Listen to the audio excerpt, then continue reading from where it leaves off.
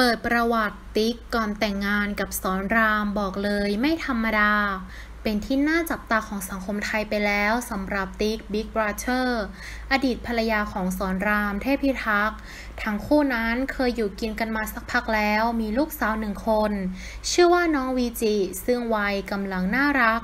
แต่ตอนนี้ทั้งคู่ได้เลิกรากันเป็นที่เรียบร้อยแล้ว วันนี้จะพามาทำความรู้จักกับติ๊กกันให้มากขึ้น บอกเลยว่าฝีมือของเขาไม่ธรรมดา หลายคนไม่เคยรู้ว่าเธอมีชื่อจริงว่ากุ้งพลอย แต่เรียกกันนิทารินพัชรพักดีโชต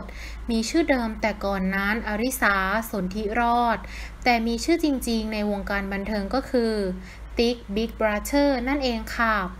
เธอเป็นที่รู้จักจากการแข่งขันรายการ Big Brother Season 2 โดยตอนนั้นเธอมีชื่อว่าอาริสรา มีอาชีพเป็นสตันหญิง และมีบุคลิกเท่ ๆ แมน ๆ บวกกับความแข็งแรงในร่างกายของเธอกล้าคิดกล้าทำจึงทำให้เป็นผู้ชนะ และได้มีโอกาสเล่นภาพยนตร์ในหลายเรื่องเลยล่ะค่ะ